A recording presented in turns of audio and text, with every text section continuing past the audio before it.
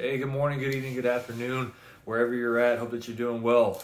Welcome back to Brad's Corner of the Cheap Seats, where the seats are still cheap, but the production is improving. Got some better lighting in the background for you guys this week so you're not staring at my ceiling fan or whatever the case is. Hey, so we're here, obviously, to recap NFL Week 2. Well, Brad, it's uh, Tuesday afternoon, Monday, and today, ESPN, NFL Network, and Fox, and everybody else, they've already been doing that. You know, what are we doing here talking about this stuff still? Well, again, because it's my show and I like to break stuff down in detail a little bit, kind of figure out what happened, what were some surprises, uh, and uh, just my general opinion on week two. So, you know, kick this thing off. Hope you guys enjoy it, and uh, hopefully you find out some stuff that you didn't know. So, what we're going to talk about first is just overall NFL defenses and how they are struggling right now. NFL quarterbacks are completing passes at a higher percentage than we've ever seen before. So in week two, we have half of these starting quarterbacks completing over 70% of their passes. Just a few short years ago, that would have been outrageous. It wouldn't have been heard of. You would have never thought it was going to happen. You know, only reserved for your Drew Brees, you know, Tom Brady, Aaron Rodgers, those guys that are, you know, the elite of the elite at the quarterback position. Now we got uh, 14 QBs over 70%, and we're not just talking about the guys that are, you know, checking down, you know, every single play. We got guys that are, most of them, uh, averaging over seven and a half yards per attempt while completing 70% of their passes. That's that, that's outstanding. That's great quarterback play. But also, what it is is the NFL defenses uh, continuing to, in my opinion, get kind of stuck. They're stuck trying to play behind the rules that they're being governed by, and they're stuck behind what the offenses are getting away with. Like you know the the RPO game continuing to be uh, improved, adjusted, expanded upon the receivers, you know, getting more leniency from the officials on, you know, pushing off or just these defensive passes interference. Like right now, the norm on third and long is send a tight end or a running back down the seam, hopefully get a matchup on a linebacker. The linebacker's turned around and the quarterback just throws the ball at the back of the guy's head. It doesn't really matter if the defender is able to do much. What it matters is is that the receiver is trying to work back towards the ball and he falls down they're going to call defensive pass interference almost every single time. So not only are your defenders at a disadvantage, but what they're also getting caught in between right now is the packages and the personnel. Right? We have these lighter, you know, linebackers and, and coverage guys to try to keep up with these spread out, fast paced offenses. You know, these receivers and tight ends that can get out there and move with speed. And they're also trying to counterbalance the teams that are, you know, still there heavy up front that can run the ball. So, you know, what you saw is those smaller linebackers, you know, get more dominant. And I think some of the teams are now starting to switch back to power run football. And the defenses just are at a disadvantage. They're getting caught in between. Now, it typically takes a couple of years for the NFL to adjust to whatever's, you know, new and great, you know, out there on the offenses. So I don't imagine it's going to take too awful long for them to start getting into a better position. And also, it's week two. So they'll get more tape on what the masterminds have come up with in the offseason, and they'll hopefully come up with some better ways to defend it. Uh, but for the offensive people who love, they love scoring, they love high action games, close scoring games, um, you know, because they're just waiting to see who has the ball last to see who's going to win. There's a lot of that going on right now, and I mean a lot. Games coming down to just extra points being missed, uh, last second field goals being missed. Uh, offenses are at a, at a premium right now, and, and defenses are, are, struggling pretty heavily. Uh, talk about a couple quarterbacks right now who are pacing uh, the NFL uh, in production, right? So, Tom Brady, in two weeks into the season, he's thrown nine touchdown passes. Um, Kyler Murray coming in second with seven touchdown passes through two weeks of play.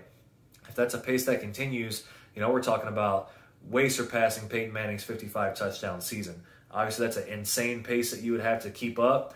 But who knows? Their offense is loaded. You know, Kyler Murray gets AJ Green, uh, Devontae, or Devontae, my bad, DeAndre Hopkins, uh, Christian Kirk, now the rookie Rondale Moore. We know Tom Brady's got every weapon under the sun over there in Tampa Bay.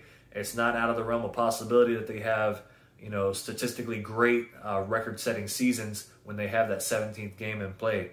So, uh, quarterbacks just going absolutely bananas, and and defenses having issues trying to keep up with them. Uh, it looks like the norm right now through two weeks of the season isn't a great game is 300 yards passing. We got guys hitting 400 like it's easy, right? Like 350 uh, plus. Like that's what we're seeing and we're going to be used to now. It's like, I right, 400 yards passing, you know, whatever, big deal. It's still a significant achievement. Um, looking at running backs, you know, like, all right, so we got these quarterbacks going off, we got all these points being scored. So what are the running backs doing? We only had three running backs in week two go over 100 yards. Tony Pollard, who, if you didn't, you know, watch the game or see the stats, you wouldn't have guessed that was going to be one. You would have thought it was going to be Zeke Elliott. Uh, you have Dalvin Cook for the Vikings, who know they love to run the ball. That's not a surprise. And Mister, I'm going to run the ball eight million times a game, nine billion times a season. Derrick Henry, because that's what Tennessee has to do to have a competent offense. Apparently, those are only three guys that, that crossed the hundred yard threshold. The other guy was Lamar Jackson, quarterback. The Other guy who got close, 95 yards, Daniel Jones. Those are two quarterbacks. Not we're not talking about running backs. It's two two quarterbacks. That's insane to me. We only got three people across the NFL with 100 yards. We'll see if that trend, you know, starts to to get a little bit more even throughout the NFL season, or if it's just pass happy league like we've been continuing to go to, pass to win, pass to get ahead, run to close the games out. We'll see what that looks like. Uh, other notes on the NFL this week. These taunting penalties have to slow down. They got to stop being so ridiculous. And the, the Browns and Texans game, Jordan Akins is tight end number 88, catches uh, a little out, you know, the tight end six, seven yard route, catches it, spins the ball like we've seen hundreds of times. Gets up, spins on the ground, doesn't say anything in the face of the defender, doesn't even spin the ball in the face of a defender on the ground, just towards the sideline, you know, gives a little flex. Again, not in the defender's face, 15 yard penalty, tying. And that was over the entire weekend. Well, Sunday's football is only only time right besides Monday, but uh, over the entire course of the games on Sunday, you know, got red zone going along with another game, and we're just seeing these ridiculous penalties, 15 yards, you know, for just celebrating a play uh, or just trying to have a good time on the football field. Like, it's an emotional game. It's a hard hitting game. Uh, the you know football NFL.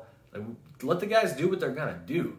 You'll know it when you see it what taunting looks like. You know, getting them in somebody's face and you know talking mess to them or you know whatever the case is.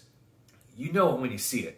A guy getting up celebrating a play by spinning the football. We've been doing that forever. Like let's let's not go back to the no fun league to where you know, we're not encouraging celebrations. The game's supposed to be enjoyable. It's supposed to be fun. Uh, you know, one of the, the, least fun coaches in the NFL, Bill Belichick, tells his team, "Hey, if we do something good, go celebrate with your teammates. If we're flagging them for something, something so simple, they're just going to get up and be Barry Sanders, hand the ball to the referee, and walk away. Nobody wants to see that, you know, except for apparently the competition committee, which last time I checked only has one player on it something to keep in mind.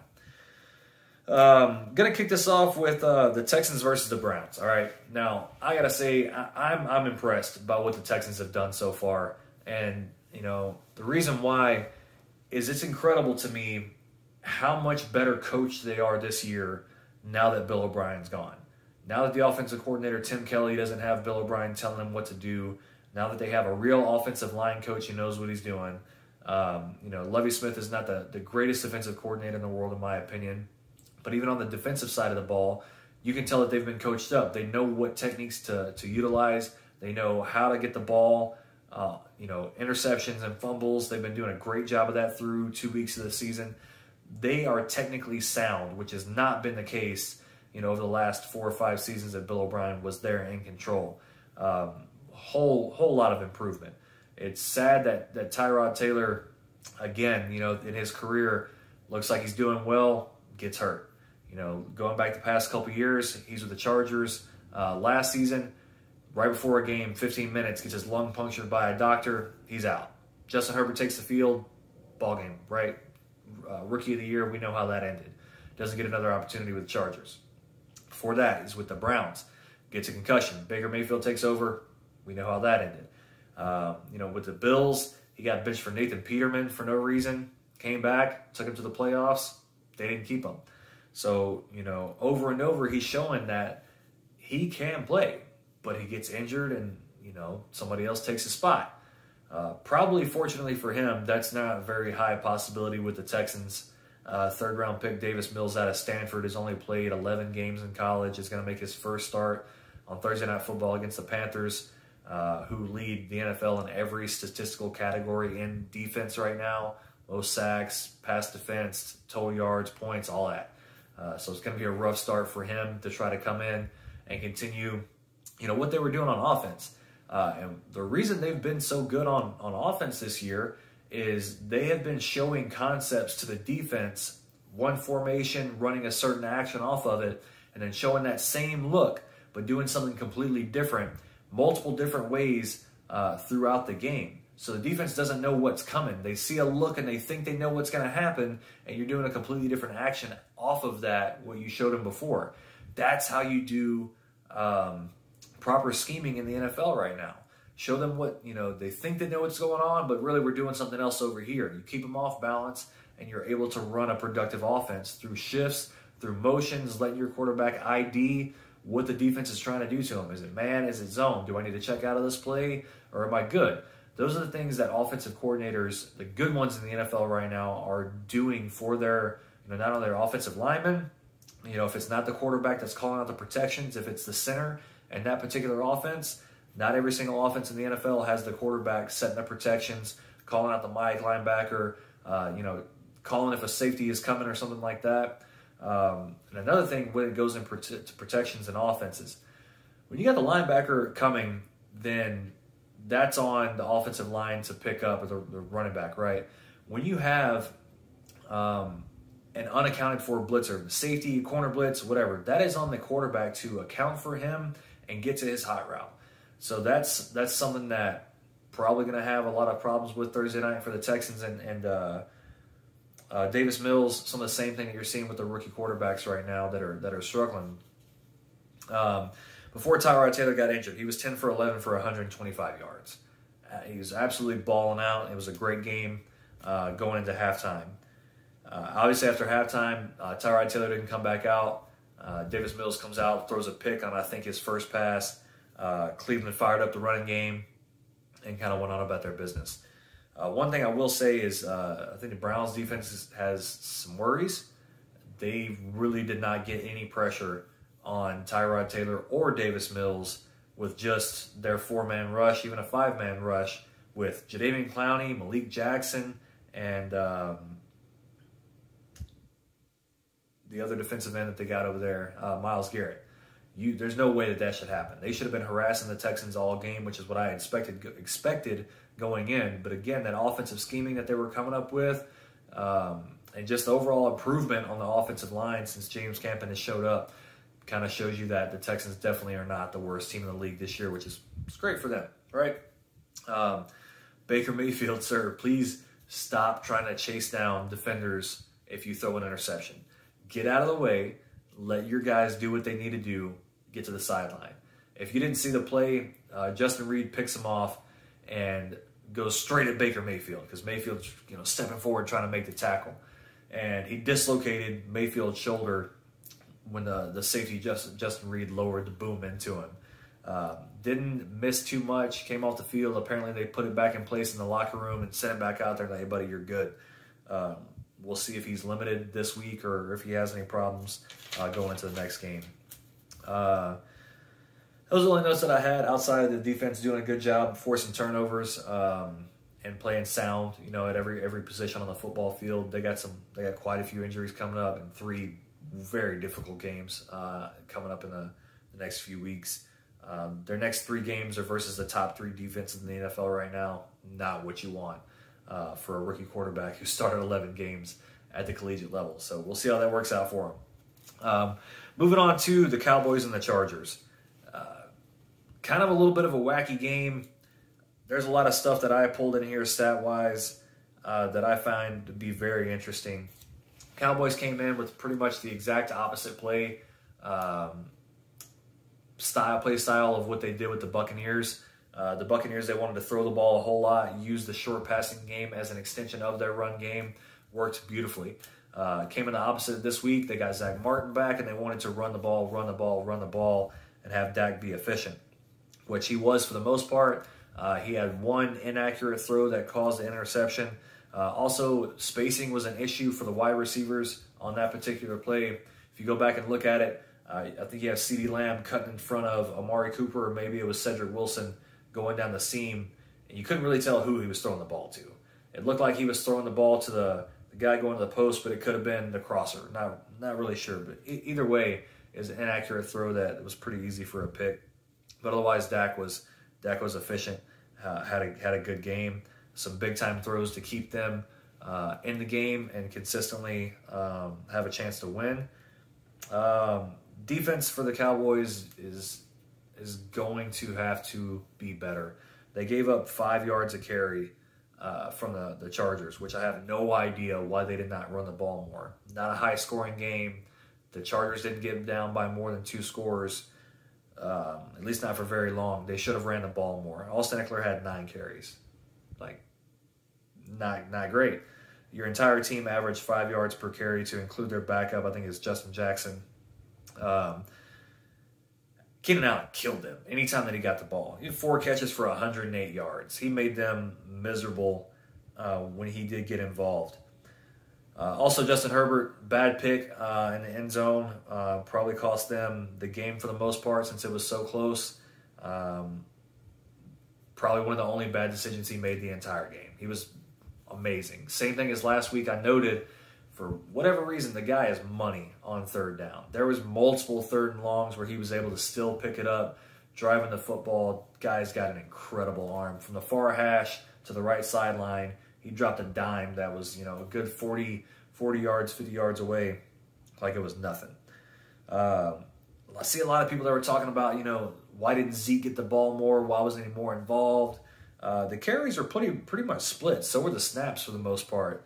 Uh, Zeke carried the ball 16 times. Tony Pollard carried the ball 13 times. I thought a few times during the game they used Zeke incorrectly against that defense. They try to get him outside on an outside zone running play. Um, you know, that requires somebody who has some speed to be able to put the foot in the ground and, and get up the field or be patient enough to stretch it out and find a hole. And, and Zeke wasn't really doing either one very well. I don't know if it's because Zeke is trying to be so patient with his running style right now, or if he's just seriously lost a good step. Because Tony Pollard looks considerably faster than him. Uh, not only looks, is at this point. Uh, Zeke 4.4 yards per per carry average. Tony Pollard with 8.4, absolutely getting it. And he didn't bump his average up from having you know two 30 plus yard carries or anything like that. He was just consistently picking up beautiful yardage. He's a weapon for them right now absolute weapon. Um, Mike McCarthy needs to do uh, way better at time management. Towards the end of that game, uh, you know, they're driving, trying to win. There was over 30 seconds on the clock that Mike McCarthy wasted and didn't get any more yardage. Was happy with a 56-yard field goal from a kicker who last week mixed two two field goals and an extra point. I have no idea how that makes sense. You cannot continue to do that in these close games, or otherwise you're going to lose those close games. That's how this works. Um, no way, shape, or form should they have designed that particular drive that way. There was a couple running plays that they ran, which hey, fine. If you got enough timeouts, you pick up good yardage, cool. Otherwise, sidelines uh, are your friend, and quick plays to clock it to get the yards that you need. Otherwise, you need to push the ball down the field. Settling for a 56-yard field goal is horrible, horrible way to go for me. Um, Raiders and Steelers. Everybody that was talking about the Raiders has a lot of backtracking too, my, myself included. Uh, you know, we're talking bad about the draft picks. Um, you know, who's on the hot seat over there? You know, is it the general manager? Is it Jon Gruden? Is it both? Word started leaking out that it was going to be the general manager if they didn't do well this year because he was going to take the blame. Jon Gruden, you know, 10 year contract, he's not going anywhere. Um, those boys are, have been ready to play, and you got to give a lot of credit to Derek Carr. Back to back, beautiful performances throwing the football, accurate, huge, big time throws down the field. Um, you know, not getting scared in the pocket, not making bad decisions with the football, just overall very accurate and, and very, very good. You know, we've seen them get out to 2 0 starts before and then have, you know, bad second half of the season. I think he at one point last year, the year before, they were six and two, and nothing happened after that. You know, I think Derek Carr's had some injuries that have derailed potential playoff runs for them. it looks like right now they're ready to roll. You know, the defensive line is absolutely mauling people, uh, getting after it. Maxx Crosby, uh, Carl Nassib, and um, Ngakoue just going bananas. Uh, if they can keep playing like that, you know, they just beat the Ravens and the Steelers back to back. Two very tough NFC North teams, you know, or AFC, excuse me. Uh, that's that's beautiful. That's beautiful football. Um, Steelers, if you're wondering what their struggles are right now, is they can't run the ball at all. Historically, last year was one of their worst years ever running the football, and it's even worse this year. I don't know about you, but I know that I, there's a corresponding thing that has a lot to do with this. Mike Munchak leaving is the offensive line coach. As soon as he left, this thing started going downhill. Obviously, they've lost some players. You know, uh, Pouncey retired, the center. Uh, you let Alejandro Villanueva go in free agency, sign with uh, the Ravens. You know, pass protection is decent, but their running game is, is absolutely horrendous.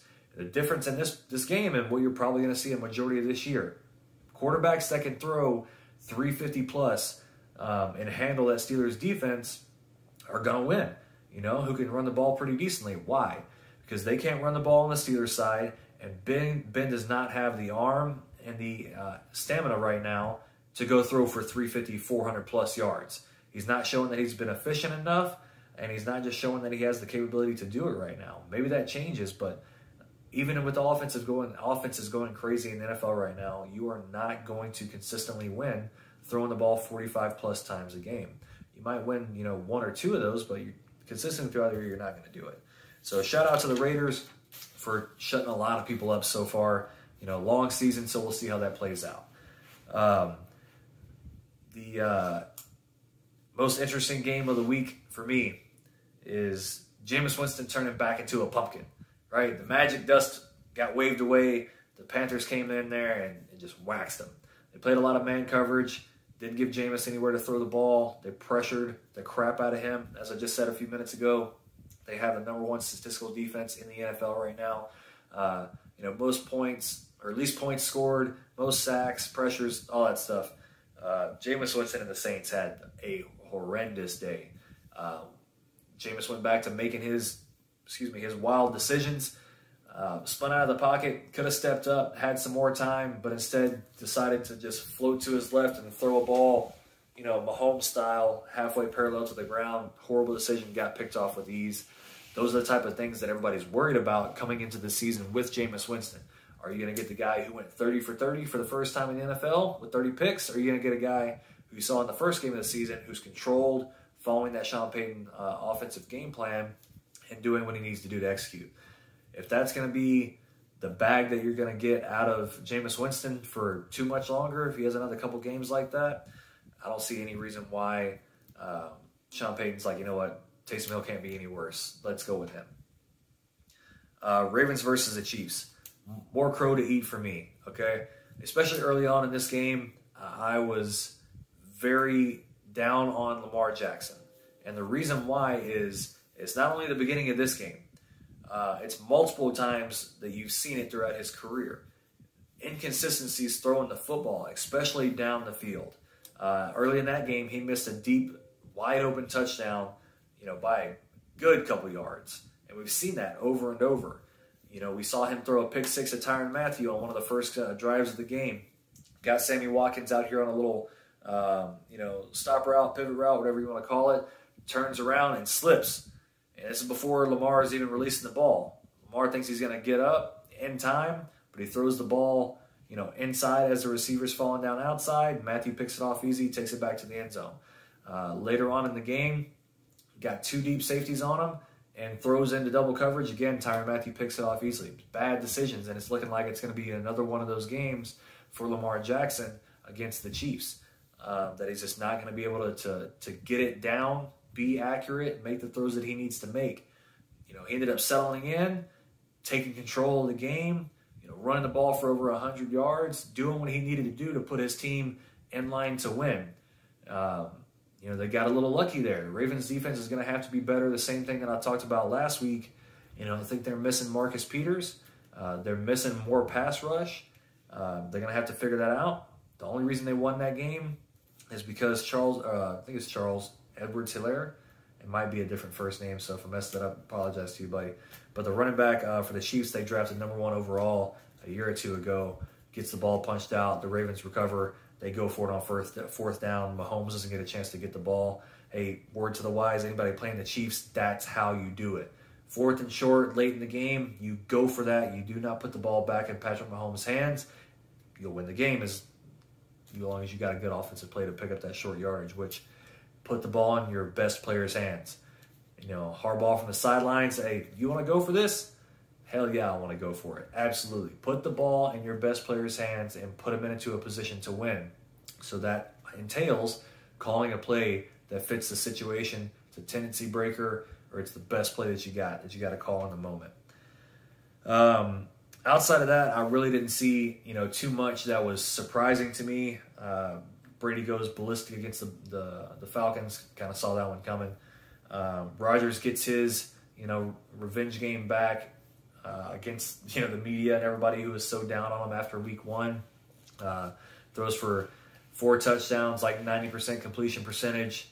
Had two throws in the game that you know Mahomes and Brady have to you know be on their game to make.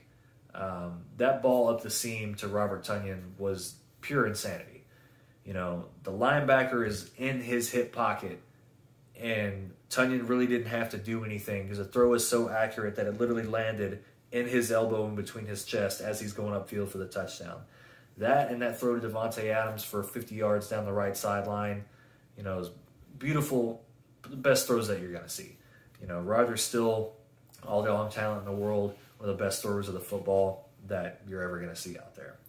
So nothing surprised me from from those two. You know, those guys did what they were supposed to do um, and had great football games. Uh, as far as the rest of them, talk about those just briefly. Uh, the Eagles and the 49ers. If you watched our, our armchair quarterback show, I did uh, pick the Eagles because I thought their defensive line was going to be able to, um, you know, control the 49ers, and that was a very close game uh, for the majority of the time. Uh, Kyle Shanahan's going to have to figure out if he's going to have Jimmy Garoppolo start the whole season or, or if he's going to turn over to Trey Lance. Garoppolo is still missing, you know, easy throws. They're not even deep shots. They're, you know, crossing routes, missing them high consistently throughout the game. Like finishes, you know, with the win, so that's great. But those big time throws against you know, the better opponents of the NFL are the ones that you have to hit. And right now, he's not hitting them. Uh, you know, if he was, games like this probably wouldn't even be close. Um, Jalen Hurts, I thought he was going to play a little bit better.